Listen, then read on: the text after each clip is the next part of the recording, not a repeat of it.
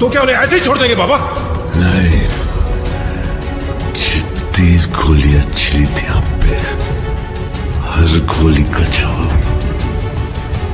हज़ार गोलियों से दूँगा।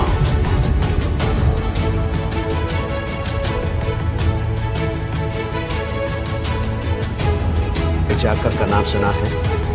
यूपी का सबसे बड़ा गैंगस्टर। है मुंबई में शंभू हिरण और शेर एक जंगल में रह सकते हैं। एक पिंजरे में नहीं। अगर गलती से हिरण शेर के पिंजरे में आ गया तो शेर उसे फाड़ के खा जाएगा। तो बोल देना उसे मेरे पिंजरे में ना